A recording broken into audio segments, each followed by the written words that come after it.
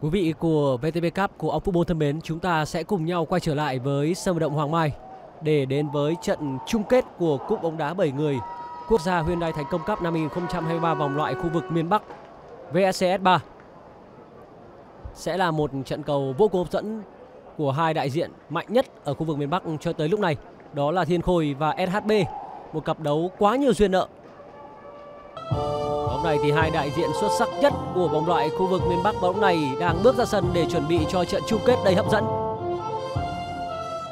Lúc này thì SFB dù sao vẫn được đánh giá nhỉnh hơn đôi chút so với Thiên Khôi và có thể nhìn thấy những cái tên trong lịch xuất phát của cái đội ngày hôm nay cũng nói lên điều đó. Quá nhiều những sự thay đổi trong đội hình chính của Thiên Khôi trong trận đấu chung kết này. Trong khi đó thì với SHB họ ra quân với lực lượng được coi là mạnh nhất Đường xuất phát của Thiên Khôi trong trận đấu này trong thành vẫn là thủ môn số 1 Mai Hoàng Phúc, số 7 Nguyễn Hoàng Danh, số 11 Phạm Anh Tâm mang băng đội trưởng, số 15 Vũ Văn Mạnh. SHB ra quân với đội hình trong thành đó là thủ môn số 93 Đào Văn Huấn, số 7 Trần Văn Trung, số 16 Trương Minh Đức mang băng đội trưởng. Như vậy là trận đấu bắt đầu trong hiệp thi đấu đầu tiên này thì Thiên Khôi trong trang phục quen thuộc màu trắng đỏ sẽ bảo vệ cầu môn phía tay trái theo dõi của quý vị và các bạn. Chính xác thì ngày hôm nay Thiên Khôi giữ lại ba cái tên đánh đầu tình huống mà tân cò bật rất cao. Tân cò cũng chính là cầu thủ đem lại chiếc vô địch vss 2 cho các cầu thủ mobi còn cầu thủ ghi bàn thắng nhiều nhất. Dứt điểm, cú sút quen thuộc của trung vệ cầu thủ ghi bàn thắng nhiều nhất cho thiên khôi đó chính là sáng percy. Đó chính là thế vinh. Thế vinh đang có được 5 bàn cho thiên khôi tại vòng loại năm nay. Vòng loại khu vực miền Bắc là nơi nhiều đội bóng tham dự nhất. Và trái bóng của Mạnh lát đánh đâu Tỷ số là 1-0 cho Thiên Khôi. Cầu thủ xuất sắc nhất vòng đấu bán kết đó là Khôi Ngỏ. Cầu thủ chơi đầu rất tốt trong màu áo của Nguyễn Trãi. Và hôm nay thì anh đã đánh đầu tung lưới của SB mở tỷ số trong trận đấu ngày hôm nay. Những tình huống đá phạt góc của Mạnh lát có ấn tượng thực sự là rất tốt. Một pha cưa bóng không khác gì sân 11 người cả. Bóng đến đầu của Khôi Ngò ở phía cột xa và đương nhiên là Huấn Phu San không thể có được một tiếng cản phá trong pha bóng như vừa rồi. Rất chất lượng. Tuấn Đông Tâm sẽ là người mắc lỗi trong pha bóng này. Anh đã bỏ quên đối thủ ở phía cột xa. Và đánh đầu rất hay để nhận bóng từ những các đồng đội. Tuấn Đông Tâm dứt điểm và dứt điểm ở tuyến 2 của Sơn Muller tuyến 2 trúng nghệ này thì bóng đã đi gần cầu môn hơn, nhưng vẫn chưa chính xác.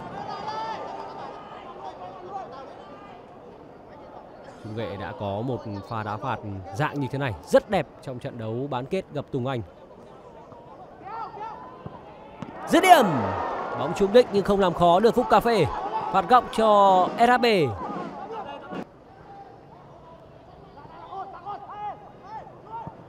và chuyền bóng rất hay không được rồi, vẫn còn hiếu hino.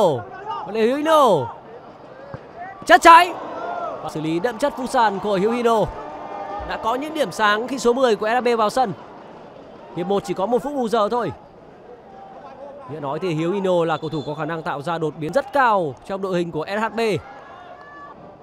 Hoàng Treo. Đức Thủy Lợi, sút xa. Khá nguy hiểm với những tình huống sút xa dạng như vừa rồi thành Phúc Cà Phê đã bị che mắt bởi các cầu thủ, đội nhà cũng như là các cầu thủ của SHB.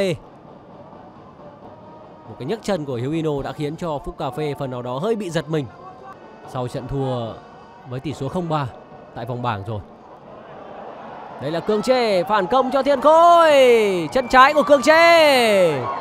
Tình huống can thiệp kịp thời của Hoàng Treo đã khiến cho Cương Trê không thể tung ra một cú dứt điểm Hương Trề đã không thể có được một tư thế dứt điểm tốt. Đánh đâu 2-0 cho các thủ thiện khôi. Người ghi bàn đó là Thế Bình. Và một lần nữa Mạnh Nát lại có một bàn thắng rất đẹp. Tình huống lao vào đánh đầu rất dũng mãnh của Mạnh Nát. Tỷ số là 2-0 thì càng khó khăn cho SHB rồi.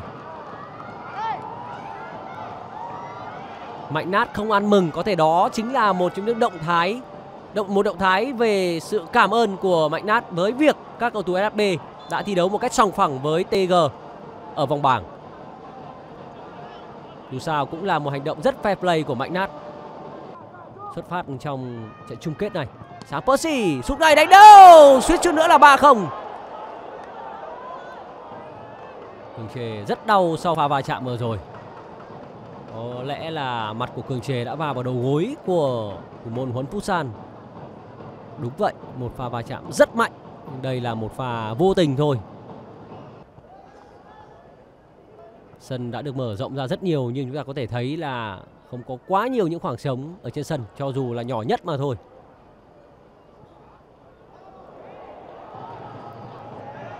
Rất hay, phản công sang Percy qua người! ba không. Khi sáng Percy đã đối mặt, thì rất khó để cho các thủ môn có thể cản phá anh một màn trả lời xuất sắc của Thiên Khôi sau khi họ thua 0-3 trước SHB tại vòng bảng ở vòng loại năm nay. Lúc này thì SHB đã quá khó rồi. Họ đã bị rơi vào một thế trận phòng ngự phản công xuất sắc của các thủ Thiên Khôi. Quá bình tĩnh để vượt qua được Huấn Phu và tung ra cú dứt điểm bằng chân không thuận khi cầu môn đã được bỏ trống rồi.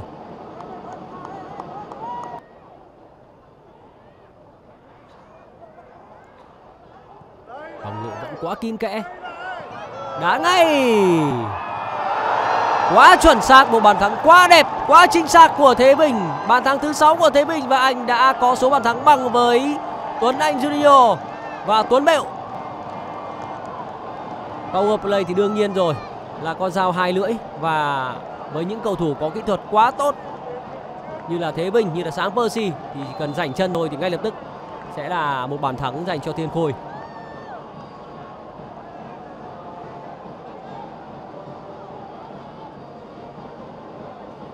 4-0 với một thế trận như thế này thì thực sự không khó có thể nhận định. Cho dù hơi chủ quan là chức vô địch, đã 99 19% thuộc về các thủ Thiên Khôi rồi. Cho dù thời gian trận đấu là còn nhiều, thậm chí là với lối chơi power play không thực sự ấn tượng, thì SHB có thể phải nhận thêm bàn thua nữa.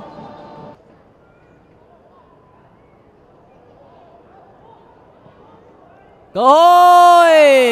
Đã có bàn thắng cho SHB người rút ngắn tỷ số đó là Đức Thủy Lợi.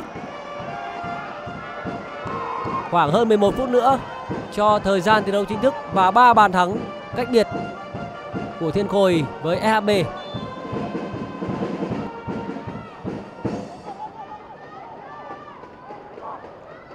này LHB cứ đối đầu với Thiên Khôi trong các trận chung kết thì họ đều phải nhận trận thua. Dương Hiệp quá kín kẽ. Chưa thể tung ra cú sút. Hiếu đồ cơ hội nâng tỷ số cho các cầu thủ Thiên Khôi. Và đương nhiên là 5-1 Trung Nghệ đã nhìn thấy những bất lực. Trái bóng lăn đi quá nhanh. Trận đấu đã kết thúc. Chức vô địch sẽ thuộc về Thiên Khôi với cách biệt 4 bàn ở phút thứ 69 Hiếu Hino, Đức Thủy Lợi dứt điểm. Và phù hợp đúng chất phúc sàn của Đức Thủy Lợi và Hiếu Hino Đập nhà quay ở khu vực trung lộ. Một bàn thắng nữa cho EHB và có 4 phút bù giờ Và huấn luyện viên Kiên Mán đã hiểu rằng Trận đấu chung kết này đã kết thúc với EHB 4 phút là không đủ cho ba bàn thắng nữa. Chắc chắn là như vậy. Sẽ về với Thiên Khôi thi đấu tại vòng chung kết, Trong khi đó với SHB Họ bổ sung Đức Tỉnh Việt Phong và Đạt Trề thế một bàn thua nữa dành cho SHB.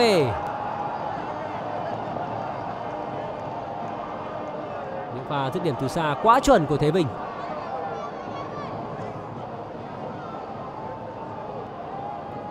Thế Bình đã có cho mình một cú hat-trick.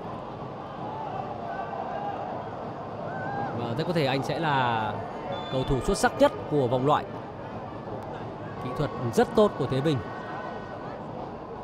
Thế Bình đã có 8 bàn vượt qua Tuấn Anh và Tuấn Bệu.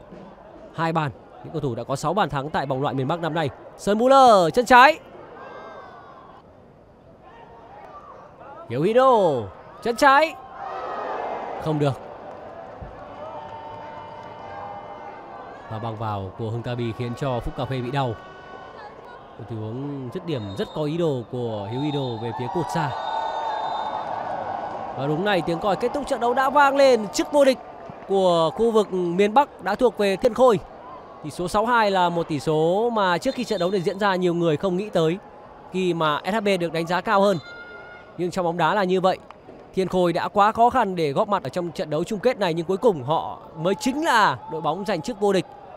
Một trận đấu hay, một trận đấu nhiều bàn thắng và Thế Vinh là cầu thủ đã có cú hat-trick trong trận đấu ngày hôm nay.